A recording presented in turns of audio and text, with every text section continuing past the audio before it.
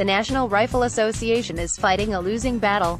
In the two months since the devastating Parkland shooting, the NRA has come under so much controversy that pro-gun politicians are helping to pass gun control legislation and a former Supreme Court justice called for the repeal of the Second Amendment, more so than the Sandy Hook massacre, more so than the Pulse nightclub shooting, more so than the Las Vegas mass slaughter. The NRA is perhaps facing more pressure than ever before in its 147-year history.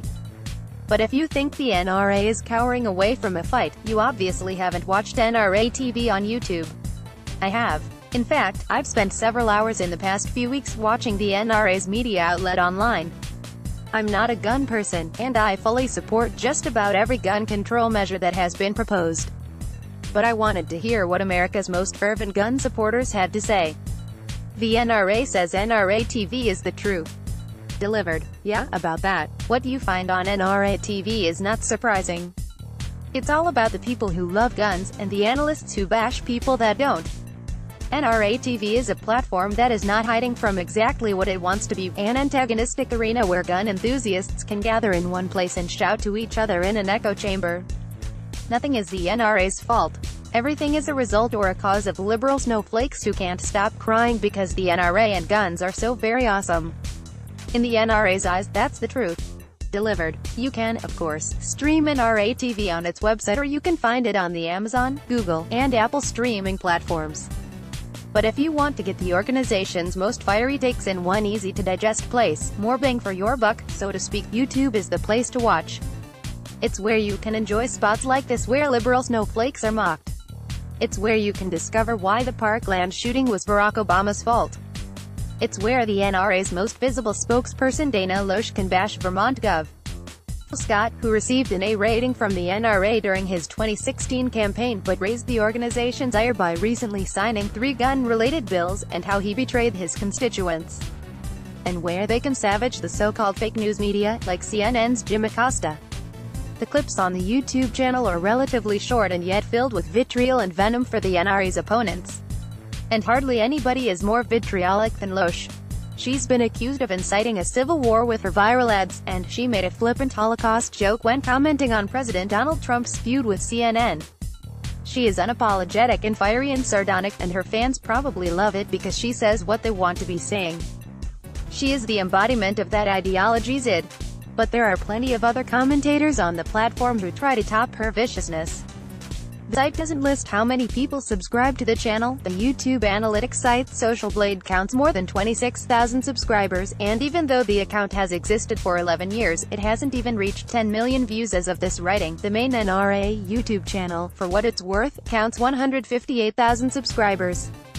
The most viral a video had gone in the past month was when Colion Noir, one of the site's standout stars, interviewed rapper Killer Mike, and they discussed the positive aspects that guns bring to our society. Killer Mike helped bring in 150,000 views for their intelligent conversation. The NRA ran that spot on its YouTube channel a few days before the March for Our Lives, and Killer Mike later apologized that the interview was used as a weapon against those who don't believe in his gun rights views. Other than that, Noir found 110,000 willing to watch him explain how the media ignored a hero who stopped a school shooting, while 62,000 people were enticed to listen to him blast Parkland shooting survivor David Hogg's white privilege. Don't get me wrong, Noir is intelligent and makes cohesive arguments. But he undercuts the seriousness of his views when he refers to the 17-year-old Hogg as Malcolm in the Middle and it's a larger theme on the channel where Loesch, Dan Bongino, and others are condescending and snarky when they're talking about the people they're bashing. Still, Noir might be the most popular commentator on NRA TV. In the past, he's referred to the stereotypical NRA member as OFWG, aka old, fat white guys, and he came to prominence on YouTube several years ago where he talked about guns, politics, and pop culture. His real name is Collins Iyare Idehen Jr., and he has more than 670,000 YouTube subscribers.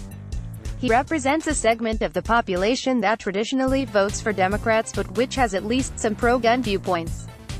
He doesn't mind courting controversy, he recently blasted the Parkland survivors who participated in the March for Our Lives, and he knows that he's seen by some as the token minority for the NRA. As he told the Los Angeles Times in 2013, some of the most influential black individuals have advocated for the use of firearms, so how come when I do it, I'm vilified? Take a look at the Black Panthers, MLK, Malcolm X, for Noir, this is his truth. Delivered. Still, the channel hasn't gained much traction, most videos are in the 500-2000 view range. Much of the time, the people on the screen aren't ranting and raving.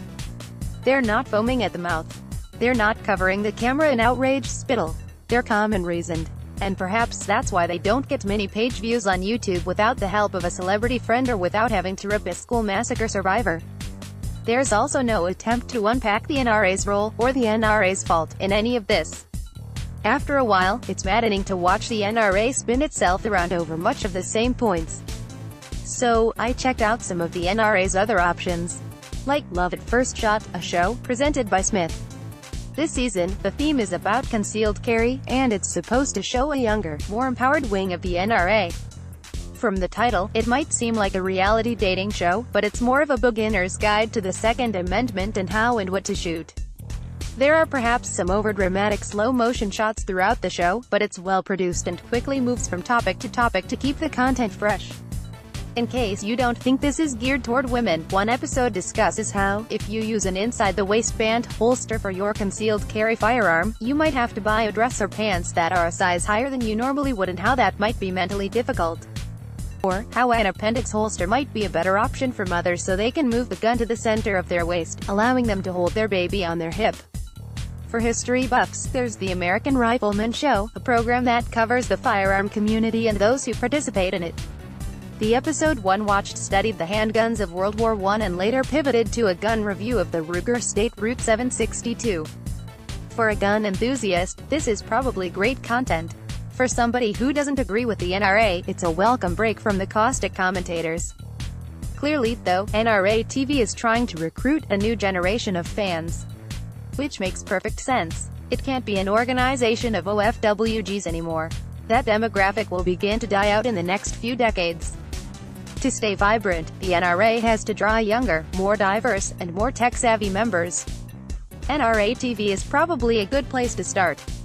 NRA TV won't win over people who are moderate on the issue of guns, and it certainly doesn't seem to care about those who want gun control. But that's not the point. It's an outlet where the so-called truth is delivered. It just all depends on the kind of truth you're actually seeking.